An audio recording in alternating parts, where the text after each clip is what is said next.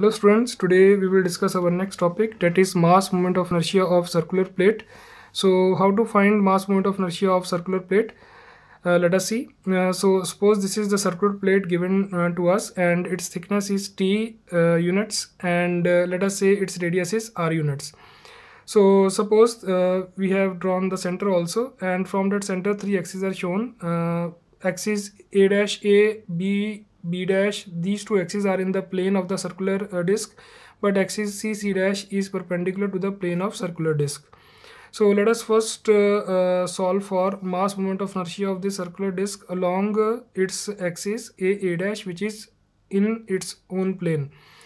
Now uh, what we have to do again we will use same fundamental. We will write rho t into area moment of inertia of this particular uh, circular face about the same axis a a dash. So that is written over here. Rho t area moment of inertia about the circular disk about same axis a a dash. Now we know that area moment of inertia of any circular face about the axis in its own plane is given by pi r4 by 4 this you should remember. This is the area moment of inertia of a circular area about the axis passing through its own plane. So that is a dash a so what further we will do, we will take pi r square common. So it will become pi rho t pi r square into r square by 4. Now look over here, pi r square is the area. That is the area of the circular uh, of the circular area. That is circular area pi r square.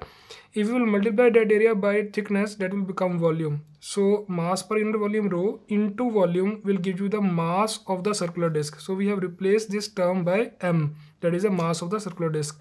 It means we got our answer m r square by 4 it means moment of inertia of a circular disk about uh, axis a a dash passing through its own plane is equal to m r square by 4 now let us find moment of mass moment of inertia of the circular disk about second axis that is b b dash.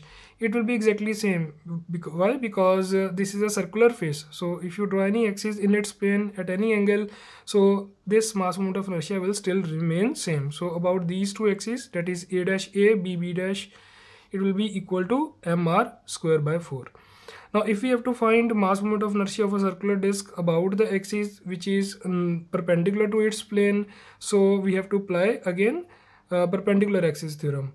So mass moment of inertia of this particular uh, circular disk about uh, the axis perpendicular to its own plane will be equal to mass moment of inertia of the circular disk about a, a dash and plus about bb dash. So this is what we have written over here. So when you will put the this value over here mr square by 4 plus mr square by 4 you will get your answer mr square by 2 so this is the mass moment of inertia of the circular disk about the axis perpendicular to its own plane. So i hope uh, mm, this particular topic is clear to you. Thank you very much